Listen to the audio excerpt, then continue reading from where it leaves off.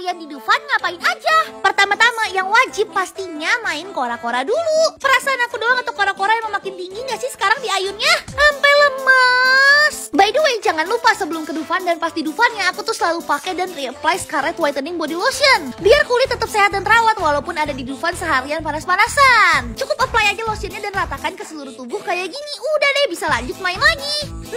Ya setelah dari kora-kora aku langsung lanjut main baling-baling. Udah gitu aku dibohongin sama videograferku. Katanya baling-baling tuh nggak serem, guys. Aku kira cuma di ayun-ayun ternyata di pontang panting. Lihat muka aku kesel banget. Lanjut, kotonya udah pusing, lihat deh tuh. Udah nggak mau naik halilintar tapi aku naik paling depan.